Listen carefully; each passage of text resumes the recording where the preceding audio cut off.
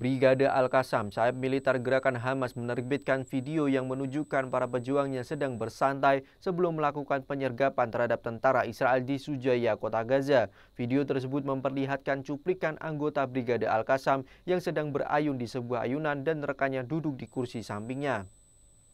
Dalam salah satu cuplikan, seorang pejuang Brigade Al-Qassam muncul dan menargetkan pasukan Israel dengan granat berpeluncur roket dari dalam sebuah rumah di lingkungan Sujaya.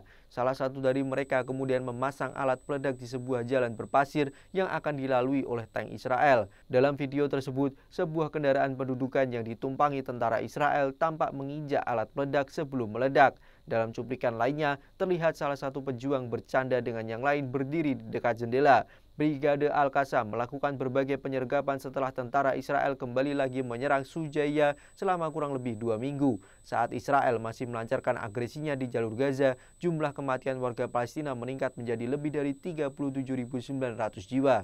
Sebelumnya, Israel mulai membombardir jalur Gaza setelah gerakan perlawanan Palestina Hamas meluncurkan operasi banjir Al-Aqsa pada Sabtu 7 Oktober 2023 lalu.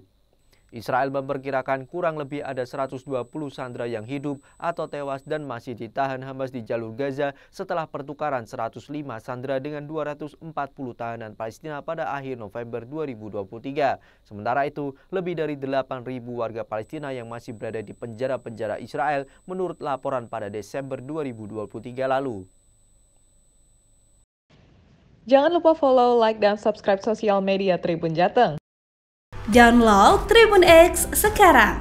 Menghadirkan lokal menjadi Indonesia.